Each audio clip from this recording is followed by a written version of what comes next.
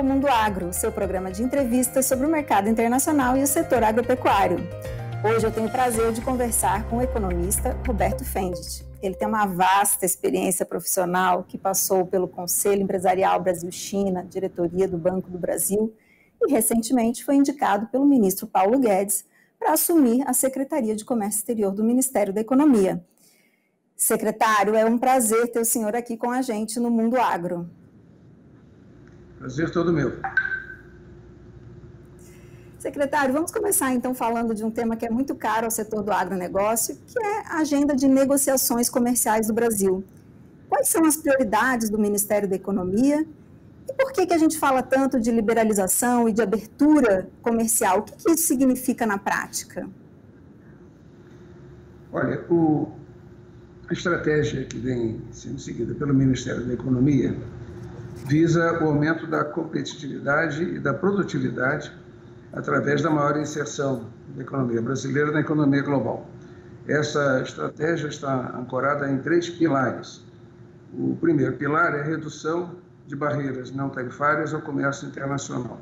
O segundo pilar, a reforma da estrutura tarifária do comércio exterior brasileiro e o terceiro, a negociação de acordos internacionais. Com relação ao primeiro pilar, da redução das barreiras não tarifárias, o Ministério da Economia tem feito um enorme esforço de desburocratização, de facilitação do comércio exterior, de maior eficiência da atuação estatal sobre as exportações e importações. Essa agenda está baseada na Lei de Liberdade Econômica, no Acordo de Facilitação do Comércio da Organização Mundial do Comércio, do qual o Brasil é signatário, e inclui recentemente uh, o protocolo que assinamos junto com o governo dos Estados Unidos e que, nos seus anexos, trata de facilitação de comércio, uh, melhor uh, racionalização das diversas regulamentações que incidem sobre o comércio internacional, de forma a adequá-las ao padrão seguido pelos demais países parceiros. E, finalmente, o, o combate à, à, à, corrupção, que afeta também diretamente o comércio internacional.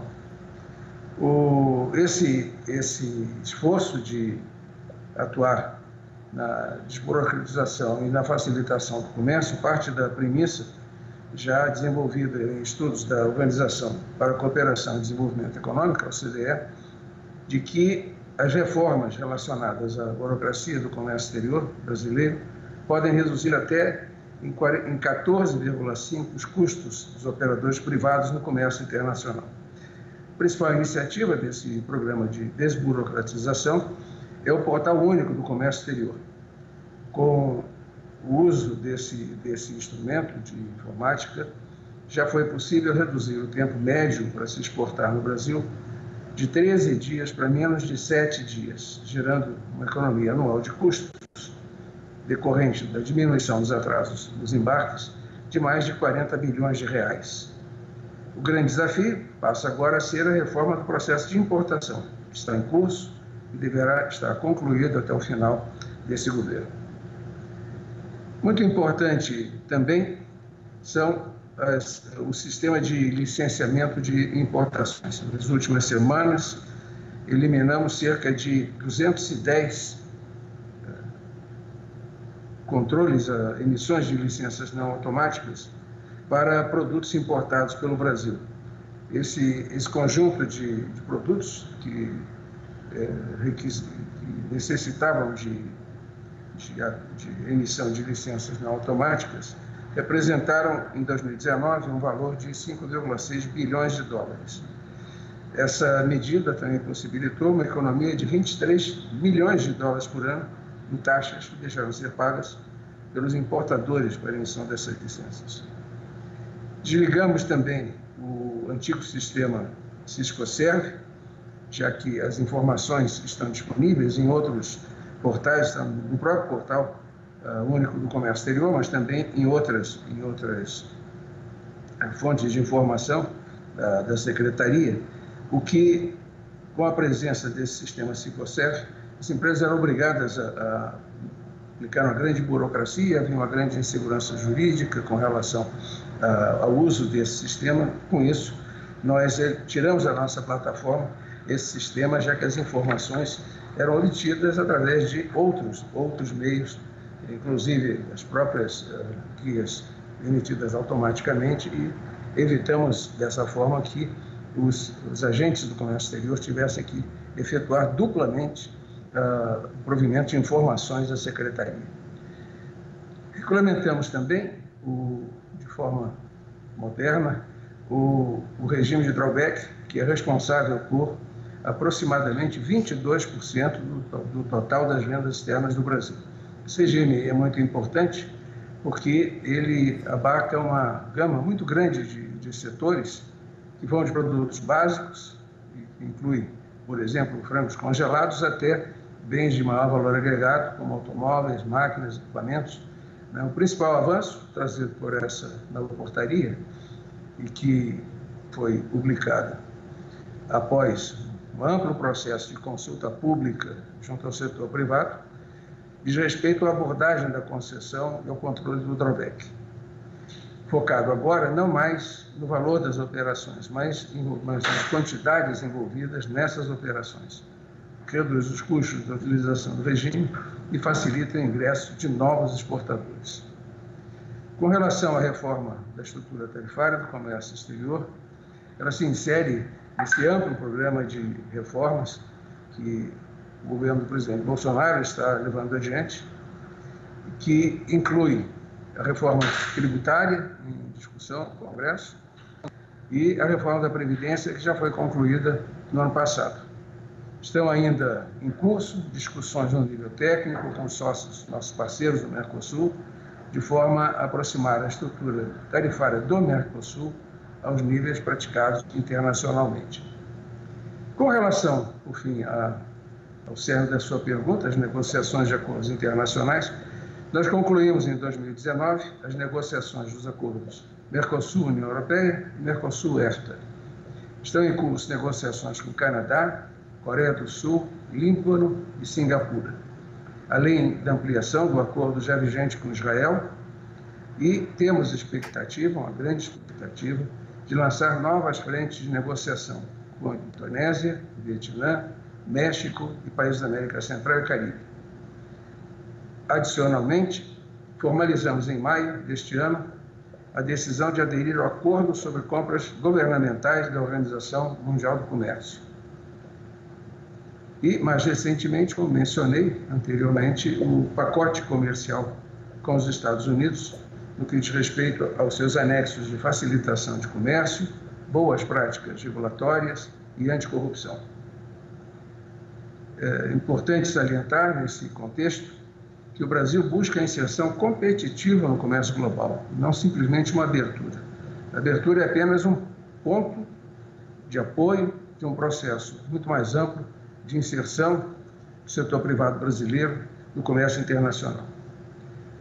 Enfim, para o produtor rural, as reformas que estamos propondo significam, primeiro, maior acesso a mercados no exterior com redução de barreiras tarifárias e não tarifárias. Segundo, menor burocracia para exportar a produção do setor. E terceiro, um menor custo para importar insumos, serviços e demais itens necessários à produção. Secretário, o senhor tocou em pontos muito importantes né, na sua fala. Acho que uma das coisas que a gente vê muito nesse, na, na conversa sobre comércio exterior é um ímpeto muito grande na exportação, principalmente no meio rural. Estou falando aqui, no né, nosso programa, ele é voltado para o produtor rural. Mas a gente conversa pouco sobre importação. E o senhor falou aí de medidas concretas de facilitação de comércio, que reduzem burocracia, que é, reduzem o custo da importação. E a importação também é importante para a nossa competitividade. Se a gente quer realmente, como o senhor falou, uma inserção internacional, a gente precisa de uma prática de comércio que é comprar e vender. Né? Hoje o Brasil vende muito. Então, se estamos falando de acordos comerciais, a gente sabe também que dentro do Brasil os setores têm interesses diferentes. Então, às vezes, o agro ele é mais ofensivo em determinados setores, defensivos em outros. Determinados países são de maior interesse do agro, outros são de maior interesse da indústria. Como que o Ministério da, da, é, da Economia vem lidando com esses diferentes interesses e especial falando de duas negociações que estão aí agora em curso, o Canadá e a Coreia do Sul. A Coreia do Sul tem trazido bastante divergência também entre os setores. Como que o Ministério da Economia faz para conjugar esses interesses e olhar para o interesse do Brasil nas negociações? Bom, as negociações, como eu disse, ela, elas uh, têm, uh, por seu turno, dois pilares. Um pilar importante dessas negociações, claramente, é a abertura de novos mercados, a ampliação de mercados já existentes para os produtos, não só do agronegócio, como também do setor industrial e para os produtores de serviços. Em segundo lugar, o segundo pilar desse, desse processo é, é estimular a inovação, realmente a produtividade e a competitividade, é, tanto do agronegócio como dos demais, das demais atividades econômicas brasileiras. O, nesse, nesse aspecto, é muito importante, e você mencionou o acordo com, com a Coreia do Sul, eu gostaria de deixar muito claro que todo e qualquer acordo que venhamos a realizar como parceiros comerciais, eles serão sempre precedidos de um amplo debate transparente com o setor privado. Não, não temos, uh, não temos menor interesse em fazer um processo de maior liberalização do comércio nos dois sentidos, sem que as sensibilidades de cada setor da economia brasileira sejam contemplados. No caso da Coreia, que você mencionou, a Coreia é um dos países onde a média das alíquotas no imposto de importação para produtos agrícolas é, dos, é das maiores do mundo, essa média. Então, ah, nós temos muito interesse em viabilizar, através de, de acordos que, que conduzam a uma maior penetração dos produtos do agronegócio brasileiro, ah, especialmente naqueles, naqueles países onde as margens de proteção são mais altas. Então, é, esse, esse esforço, como disse, ele, ele parte de um diálogo franco, aberto, onde examinamos as sensibilidades de cada setor de forma que não haja nenhum prejuízo. Ademais, ademais é importante, é, qualquer que seja o acordo firmado, os prazos de ajuste para o setor privado, quaisquer é, reduções de, de alíquotas brasileiras, são bastante extensos, em alguns casos chegando a 20 anos, de maneira que não há risco de repentinamente haja uma modificação na estrutura de proteção que deixe desamparado o produtor brasileiro. Nos casos que acabei de citar, em que os ajustes levam até 20 anos, na verdade, com uma desgravação menor no início e mais aprofundada da metade desse período adiante, uh, o setor privado terá todo o tempo necessário para ajustar-se às novas uh, estruturas tarifárias do país.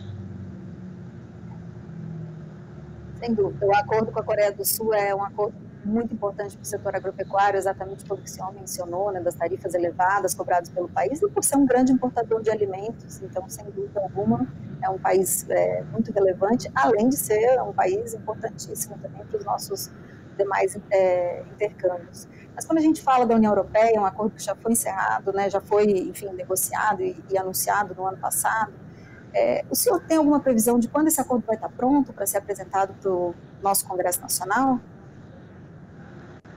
O, ainda vai levar algum tempo.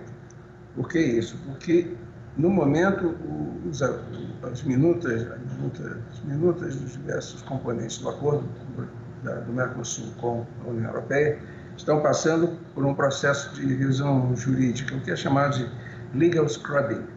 Uh, isso pretende uh, evitar que na, na, redação, nas discussões do qual resultaram os textos, haja algum impedimento de natureza legal ou algum, uh, alguma dúvida que crie insegurança jurídica. Então, logo essa, essa, esse processo de revisão legal esteja concluído, uh, o passo seguinte é a tradução dos textos que compreende os acordos para os idiomas oficiais da União Europeia. Isso levaria provavelmente ainda em seis meses.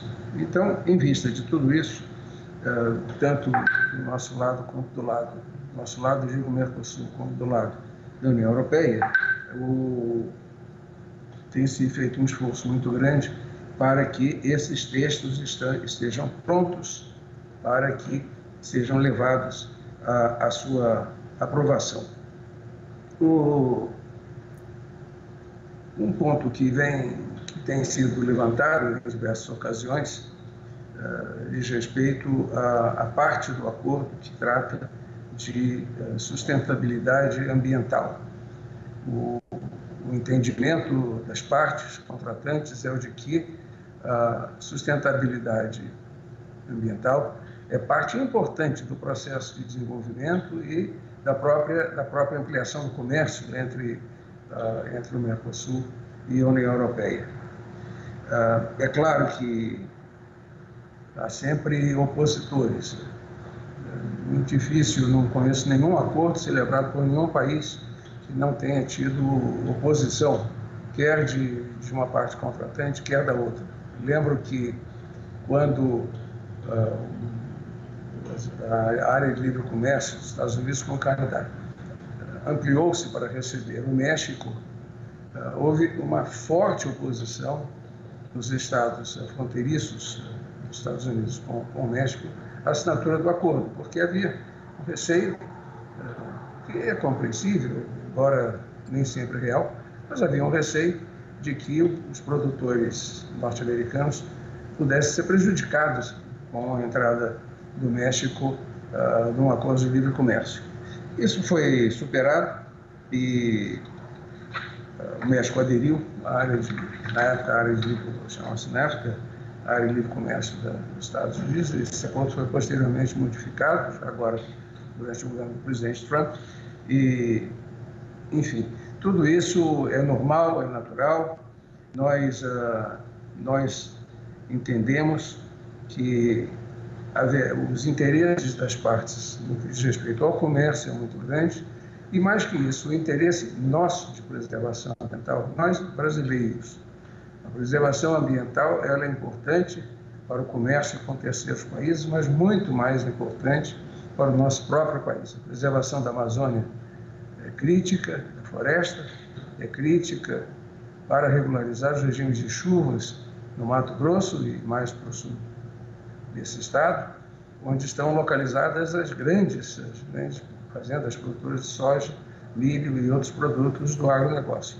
Então, não há nenhum interesse, quer dos brasileiros em geral, e muito menos do governo brasileiro, que uh, haja uma devastação uh, da floresta ou que haja poluição uh, dos rios por atividades ilegais e criminosas de exploradores que, que pelo, pelo, tamanho do território, às vezes ficam incólumes, mas o governo brasileiro está fazendo o seu melhor esforço no sentido de coibir essas atividades ilegais, que, como eu disse e insisto, elas devem ser combatidas porque é primordialmente do nosso interesse e também é primordial do ponto de vista dos interesses ambientais dos nossos parceiros comerciais. Obrigada por esse comentário final também sobre a questão da sustentabilidade, secretário, sem dúvida é um ponto muito importante para o setor do agronegócio, todo mundo que trabalha é, corretamente no seu dia a dia sabe o quanto a sustentabilidade é fundamental no campo, e vamos falar um pouquinho então agora do nosso principal parceiro comercial, que é a China. O agronegócio vem aprofundando o relacionamento comercial com a China, o crescimento chinês e o crescimento do agronegócio são muito interligados, né, do agronegócio brasileiro. É, eu queria saber do senhor qual a sua perspectiva né, para esse relacionamento bilateral que é tão grande, tão importante para o Brasil, comercial, e é, se o senhor acredita que é possível a gente agregar mais valor ainda à nossa pauta de exportação. Sabemos que hoje a nossa pauta é muito concentrada na soja e que o agronegócio poderia estar exportando muito mais. Como que o senhor vê essa relação bilateral e essa diversificação de pauta exportadora? Olha, antes de entrar propriamente na sua pergunta, eu gostaria de dizer que ser um grande exportador de produtos assim chamados primários, não é detrimental do, do nível de desenvolvimento de um país. Eu acho que ninguém pode imaginar que os maiores exportadores de commodities, que são os Estados Unidos, Austrália, Nova Zelândia, Canadá, todos esses países são países que, por qualquer critério, caracterizam-se por serem países desenvolvidos. Então, o fato de você vender commodities não é um, um fator que, que deve ser visto como algo que uh, é próprio de países atrasados. Não é bem assim. A tecnologia aplicada uh, no agronegócio brasileiro, por exemplo, ela é estado das artes no mundo, quer no que diz respeito todo o processo produtivo, a utilização de máquinas e equipamentos, enfim, desenvolvimento de variedades adaptadas a, a micro-regiões. Por tudo isso, o agronegócio ele, ele é um segmento de alta tecnologia, ao contrário uh, do que muitos ainda tendem a visualizar o agronegócio como lá um capial com uma enxada na mão, uh, plantando com as mãos, seja lá o que for, seja soja, seja milho, seja qualquer seja produto. Nós temos, portanto, uma enorme vantagem comparativa nos produtos do agronegócio. Temos uma enorme vantagem comparativa em minerais. O Brasil exporta minério daqui para a China, atravessa todo o, o, o Atlântico Sul, o, o, Oceano Índico e chega à China, uh, competindo em igualdade de condições com a Austrália, que está ali do lado da China. Então, a nossa competitividade também no segmento mineral uh, mostra que temos vantagens comparativas nesse segmento. Ora, a China nos oferece um casamento perfeito. É um país que tem muito pouca água, muito pouca água mesmo. Então, a China provavelmente continuará por muitas gerações dependente do fornecimento de produtos do agronegócio para alimentar a sua população, que não vamos esquecer, é uma população que torna-se a cada, a cada ano que passa mais urbana e, como tal, o padrão de consumo dos urbanos do mundo inteiro ele é diferente do padrão de consumo de uma população rural. A população urbana requer produtos de qualidade distinta daqueles que são consumidos por uma sociedade rural. Come-se mais proteínas, por exemplo. E o que nós percebemos hoje a população urbana da China já ultrapassa 55% de 1 bilhão e 400 milhões de habitantes e temos tido um, um grande progresso no que diz respeito à exportação de, de produtos do agronegócio com maior valor agregado. Isso diz respeito a, não só a carne de frango, mas a outros produtos do agronegócio. E é bom sempre lembrar que Brasil ele tem relações comerciais com a China, ele tem relações comerciais com os Estados Unidos, ele tem relações comerciais com os nossos vizinhos na América do Sul, tem relações comerciais com os países da África. Nós não misturamos política com comércio. O que nós não aceitamos é o comércio desleal, a prática de atos desleais de comércio, vindo eles de onde vierem mas a China é o nosso principal parceiro nos dois sentidos, na exportação e na importação.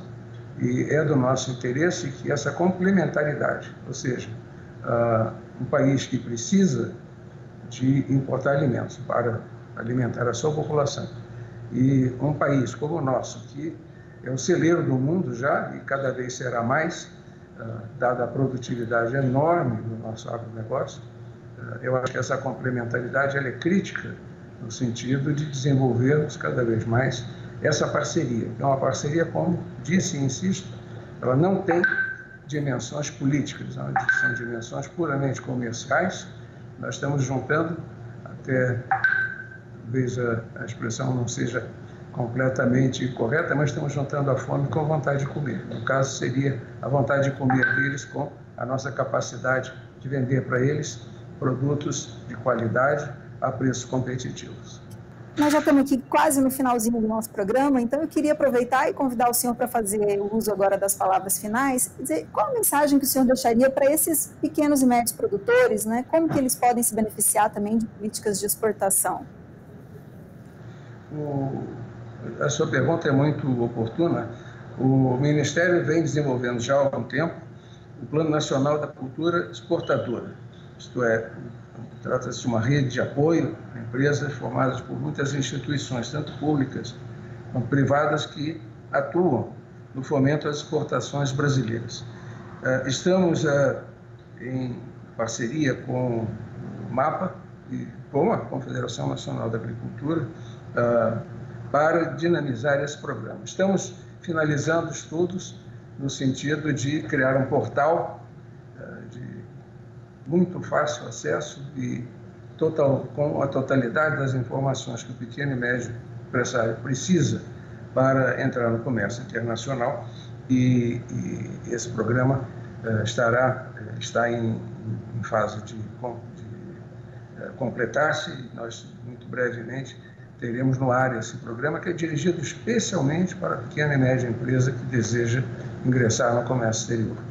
Nós temos também um programa de facilitação chamado Programa Brasil Trade que tem a mesma finalidade, isto é, simplificar, permitir que a pequena e média empresa possa ter acesso ao mercado com recursos que hoje ah, efetivamente estão disponíveis apenas às empresas maiores e mais já capacitadas. A nossa estratégia é muito clara. A nossa estratégia é com base na evidência internacional, nos fatos.